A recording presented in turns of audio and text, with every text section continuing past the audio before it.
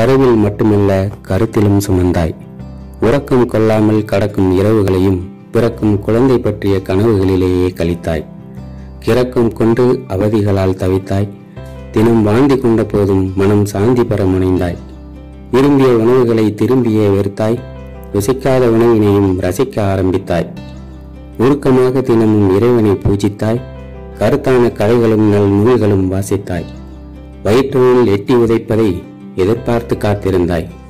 தந்தையின் கைகளை தரச் சொல்லி உதைக்க வைத்தாய்.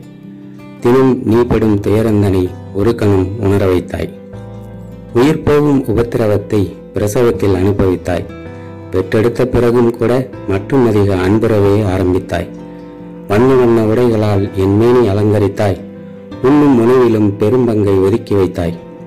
உடல் நலமின்றி நான் இருந்தால் உன்னுறக்கம் தொலைத்தாய்.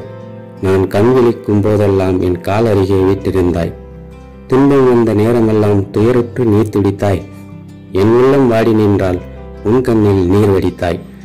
காயம்பட்ட காலத்திலோ ஆற்ற வந்தாய் அருமருந்தாய். என்னால் பட்ட துயரமெல்லாம் எப்போதும் மறந்தாய். என் ஒவ்வொரு அசைவிலும் உன் பார்வையை நிறுத்தி வைத்தாய். என்னை என்ன செய்யலாம் என்றே எப்போதும் எண்ணம் வைத்தாய். உயர்ந்த கல்வி நான் பெறவே உடைய பொருளெல்லாம் இழந்தாய்.